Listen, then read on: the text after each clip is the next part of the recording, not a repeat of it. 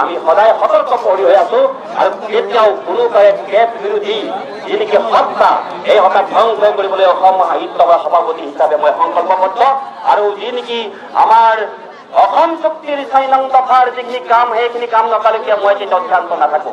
মই আজি আমাৰ সংগ্ৰামী বন্ধুসকলক মই এটা কথাই কৈছো যে কাৰো উৰা বাতৰিত কোনো ধৰণৰ প্ৰচাৰ মাধ্যমৰ দুই একে মোক যোৱাবাৰে মাৰিব খুজিছিল। কিবা আগত উদ্ধাৰ কৰিছে আপোনালোকে মোক। মোক মাৰিব খুজিছিল গতিকে সেইজন প্ৰমোদ ৰাজবংশীয়ে কেবক লৈ এটাই স্পষ্ট কথা যে আমি কেবৰ বিৰুদ্ধাচৰণ নকৰো নকৰো নকৰো আৰু কেবক লৈ আমাৰ যি গণ আন্দোলন হৈ আছে এই গণ আন্দোলনৰ ক্ষেত্ৰত অসম সাহিত্য সভাই সদায় ইতিবাচক দিশৰে সদায় গৈ থাকিব আৰু কেবক লৈ পেলাই কোনো ধৰণৰ বিভ্ৰান্তি সৃষ্টি নহবৰ কাৰণে আমি আমি আপোনালোকক আহ্বান জনালো আৰু কেবে আমাৰ জাতীয় সত্তা অসমীয়া ভাষাৰ লক্ষ্য কোন অসমীয়া ভাষাৰ লক্ষ্য হৈছে কি যে অসম সাহিত্য সভা। আপোনালোকে জানি পাব। আৰু এই অসম সাহিত্য সভাই মানে ভাষা বিৰোধী কামত লিপ্ত হবাৰ মই হ'ব দিম। আজি প্ৰায় সাত বছৰ ধৰি পেলাই মই অসমীয়া ভাষাৰ কাৰণে কাম কৰি আছো দিনে নিশাই। আৰু মই সেই কামটো হ'ব দিম কেতিয়াও নিদিওঁ। এইখিনি আপোনালোকে বিশ্বাস ৰাখিব পাৰে। চব কথা ফালতু কৰিব আমাক শুনক আপুনি। এটা কথা কাৰণে আহিছো। মোৰ ছাত্ৰ সন্থাই মাতিছিল। অ। এই কাৰণে মাতিছিল যে এই কেব সম্পৰ্কত যিখিনি বিভ্ৰান্তিৰ সৃষ্টি হৈছে এই বিভ্ৰান্তি দূৰ কৰিবৰ কাৰণে।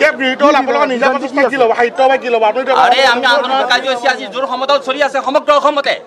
সমগ্ৰ অসমতে আমাৰ অসম সাহিত্য সভাৰ যিমানবিলাক মানে শাখা আছে জিলা আছে বিশেষকৈ আমাৰ উজনি অসমত যাওঁ আজি আমাৰ এটা আন্দোলন চলি আছে যিটো আন্দোলন কি যে আপোনাৰ। দৰঙৰ কোনটো শাখাই কৰি আছে কওকচোন আজি দৰঙৰ আপোনাৰ দৰঙৰ কোনটো শাখাই কৰি আছে দৰঙত আজি মই আহিম কাৰণে। আহিম কাৰণে ইয়াতে আজি যোগদান ময়ো এটা কৰিছোঁ। সাহিত্য সভা সম্পাদ আপুনি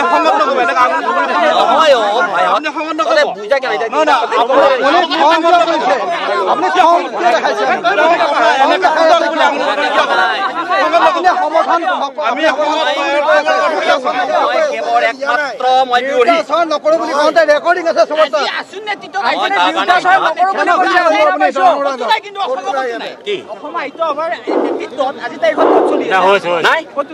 অকমান চাব। অসমৰ একমাত্ৰ দৰং জিলাৰ বাহিৰে দৰং জিলাৰ বাহিৰে দৰং জিলাৰ বাহিৰে আপুনি স্পষ্ট কৰক দৰং জিলাত কিয় হোৱা নাই? আহিছে দৰঙত কিয় হোৱা নাই বা কিয় নহয়?